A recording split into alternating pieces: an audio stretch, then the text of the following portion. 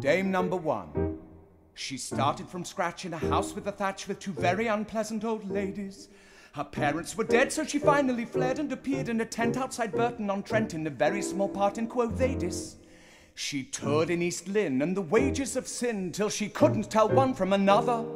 Then she found a rich friend and achieved the West End in a farce called She Did It for Mother. Three theatrical dames, eminent and respectable, their accents are undetectable, and though they've achieved their aims, if you knew what they'd done in 1931, you certainly wouldn't have made them dames. Dame number two. Her very first step was Shakespearean rep, where she thought she'd become very famous. She'd nothing to do in the dream and the shrew, but she carried a spear in King John and King Lear and a hatchet in Coriolanus. She ranted for years in pavilions on piers till her spirits were nearly at zero. Then she got a small role of a tart with a soul in a play by Sir Arthur Pinero. Three theatrical dames, models of prim propriety, accepted by high society because of their famous names. If you'd asked them to tea in 1933, you certainly wouldn't have made them dames. Dame number three.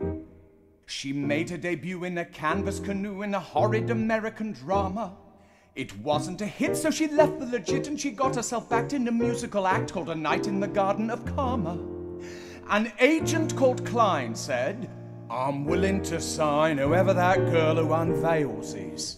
So she got her first chance with a biblical dance in a flop at the old Prince of Wales's. Three theatrical dames, each of their houses they adorn with photographs of the highly born in elegant silver frames. If you'd caught them in crew in 1932, you certainly wouldn't have made them dames. Oh, three theatrical dames, prominent, high and mighty girls. The fact that they once were flighty girls, their manner today disclaims. If you'd seen their high kicks in 1936, you certainly wouldn't have made them dames.